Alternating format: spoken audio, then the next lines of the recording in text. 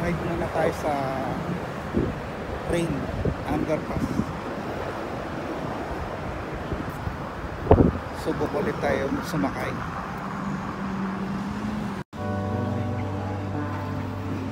Hello. Subok tayo sumakay ng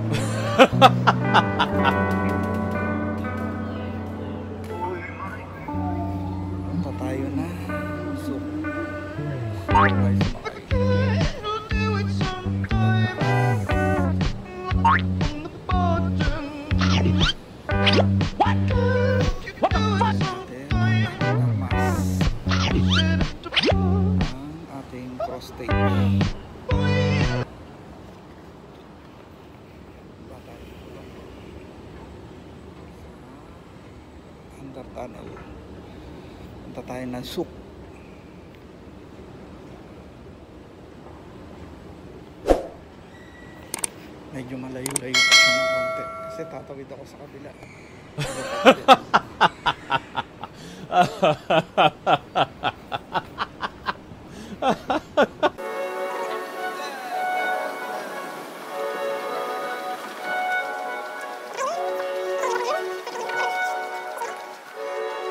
Yeah, yeah, yeah, yeah, yeah. Ay, coming in, yeah. Flex, I just wanna win,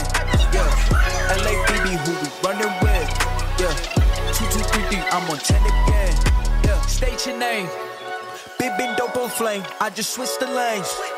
Damn, he did it again, I just flipped the pain. Stripping and dipping in bass, slab on everything. Swimming, you sinking away, cause I got big racks coming. I put my low racks on it. I ain't skip past losses, I had to get back off it. See the fit lab on it until they whip my coffin. Money clip, I tossed it, I heard it's big bags on big bags on big bags coming, uh uh, coming in. Yeah, flex. I just wanna win. LAPB who we running.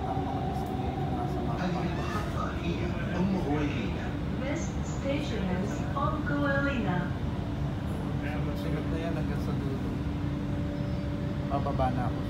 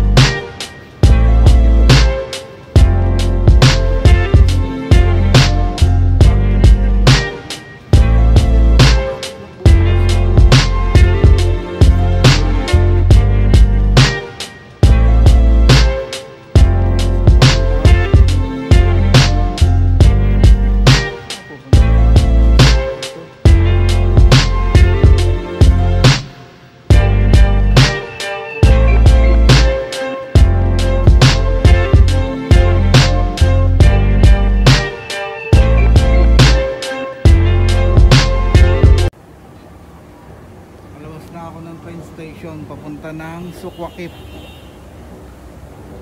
Sana ba ako? Ah, Sukwakip. Oh my G, medyo mainit. Mainit ng konti. Sana ba to? Sukwakip.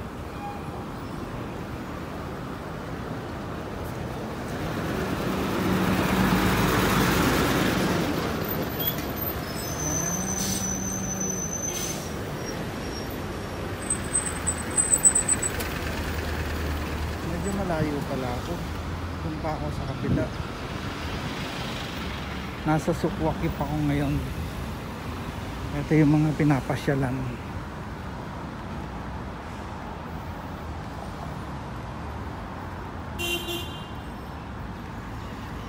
Check this out guys. Napakaganda ang pupunta natin.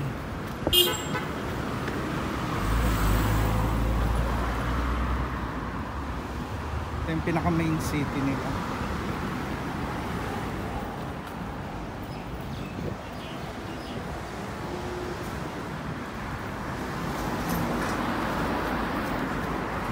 Pinaka main city. Sukwakif.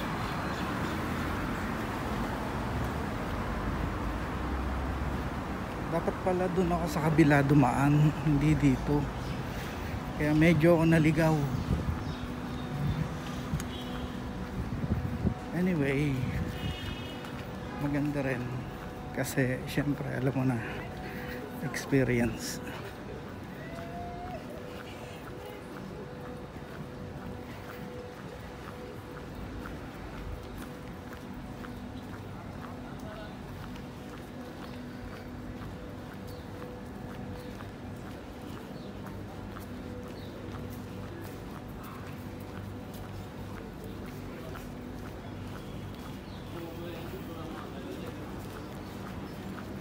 Goes now. Sana tayo? Sana ako ngayon? Naligaw-ligaw na ako. Ah, here.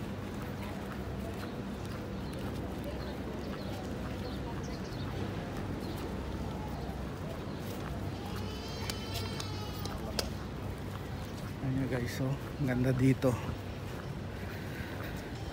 Ang dami mga binibentang antik. See? Hello.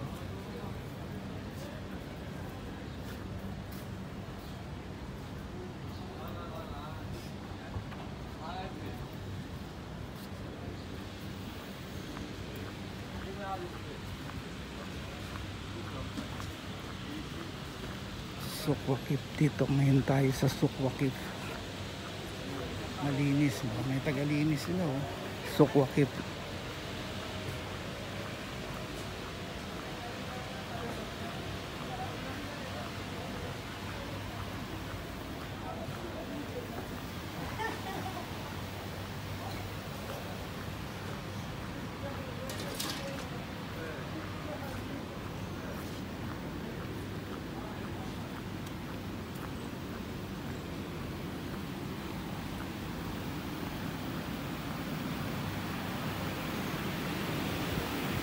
So magcha-chai, chai, chai, tea. Nag-ready na sila kasi mamaya gabi marami ng tao dito. Pasyalan kasi ito eh.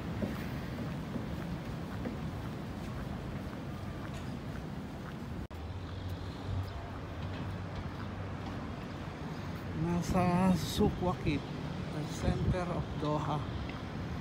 Dito yung center of Doha. Dito ang mga pasyalan.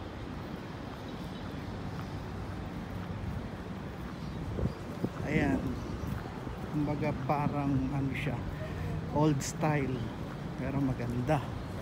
Napakalinis. Doon sa loob, pag pumasok ka, maraming tindahan doon.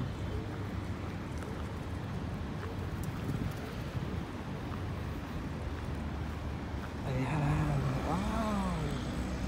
Ang ganda. Wow. Ganda, oh. Daming kalapate oh. Daming kalapate.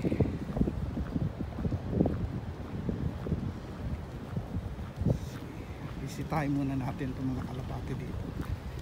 Dami guys. Oh. Ganda oh. Ang Ganda ngayon.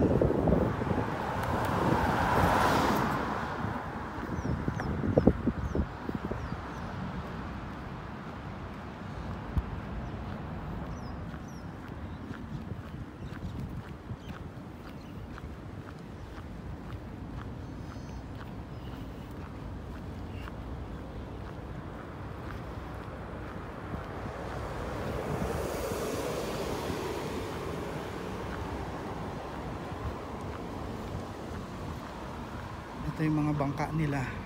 Ayan. Galing.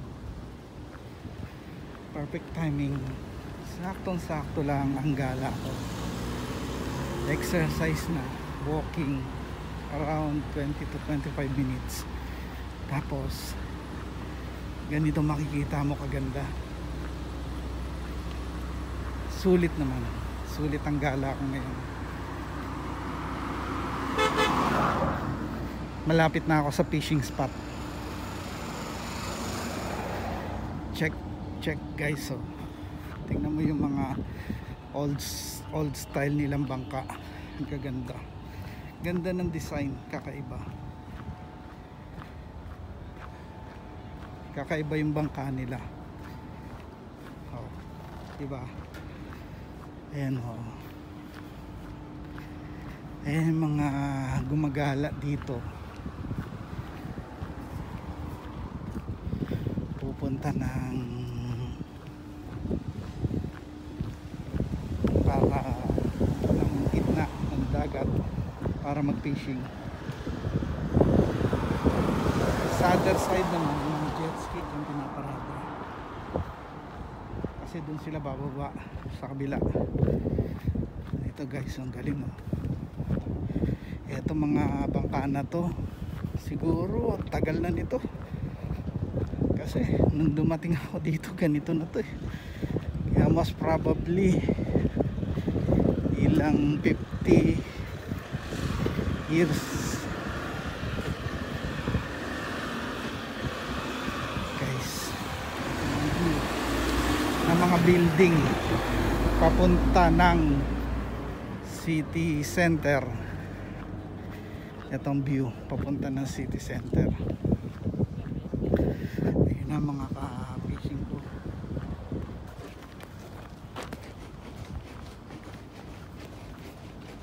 ayun na mga ka-fishing ko. Ready na sila. Ayan guys. Ito ang view. Ayun ang mga building. Building papunta ng city center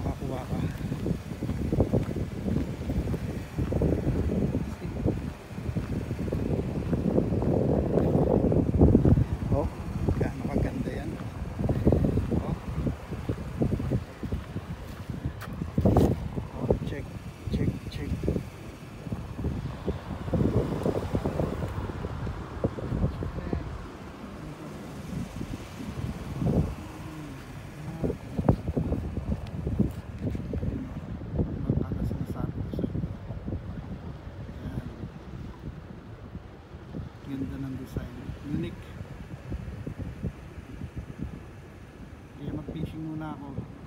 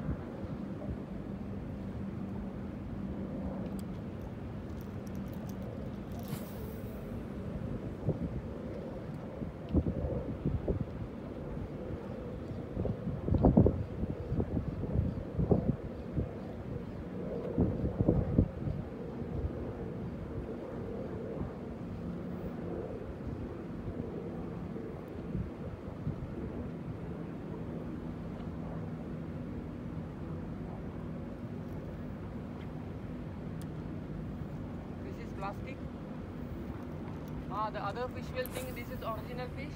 Yeah. Ah, They are thinking this is original fish. ah.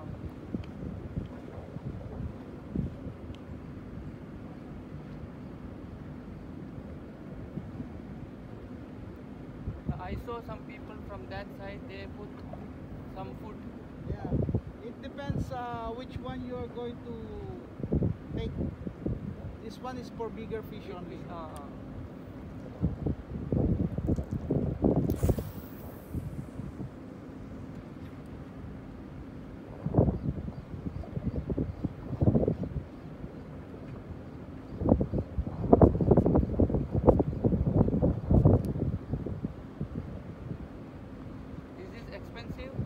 Yes. How much? 1000 real. 1000? More than.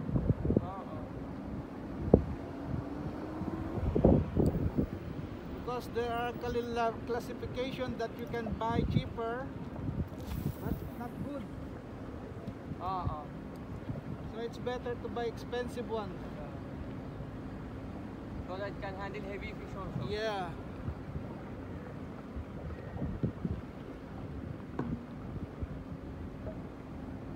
See different type of fishing. Ah.